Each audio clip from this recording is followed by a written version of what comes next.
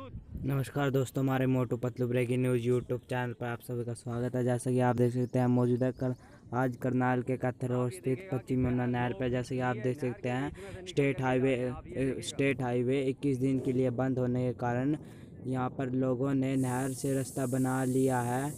आप देख सकते हैं लोग जाते नज़र आ रहे हैं नहर के अंदर से जी हाँ नहर के अंदर से लोगों ने रास्ता बना लिया है। नहर के अंदर से लोग जैसे आप देख सकते हैं ये व्यक्ति बोरिया लेके सामान की बोरियाँ लेके नहर के अंदर से चो, चोरी छुपे जाता नज़र आ रहा है हमारे YouTube Motu Patlu breaking news channel पर।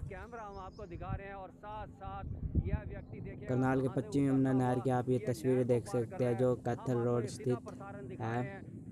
करनाल जिला के कैथल रोड। इस वीडियो को ज़्यादा से ज़्यादा शेयर कीजिएगा आप देख सकते हैं एक और दूध मिल्क मैन बाइक सवार जाता नहर के अंदर से जाता नज़र आ रहा है। हमने भी पहली बार देखा है कि नहर के अंदर से लोग जाते हुए नज़र आ रहे हैं। ये सूखी हुई नहर से लोगों ने स्टेट हाईवे बना लिया है सूखी हुई नहर को। सिर्फ़ उन्हीं लोगों को भेजा जा रहा है जो इमरजेंसी में इस वीडियो को लाइक ज़रूर कीजिएगा और शेयर की ज़रूर कीजिएगा। कमेंट ज़रूर कीजिएगा इस वीडियो पे हमारे यूट्यूब चैनल पर। इस वीडियो को ज़्यादा से ज़्यादा शेयर कीजिए और कमेंट कीजिए।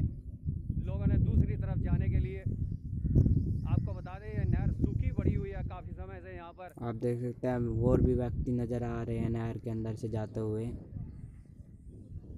जैसे कि हमारे प्रधानमंत्री नरेंद्र मोदी ने जनता को संबोधित किया था, उसी समय प्रधानमंत्री नरेंद्र मोदी जी ने यह घोषणा की की थी कि 21 दिन के लिए पूरे भारत को लॉकडाउन किया जा रहा है। उस, उसी लॉकडाउन के कारण यहाँ पर स्टेट हाईवे को रोक दिया गया वहाँ से बड़े बड़े वाहन जा रहे हैं इसलिए लोगों ने नहर के अंदर से रास्ता बना लिया है जाने के लिए। निगरानी रखी हुई है और इसी के इस वीडियो को जहाँ से जहाँ शेयर कीजिए।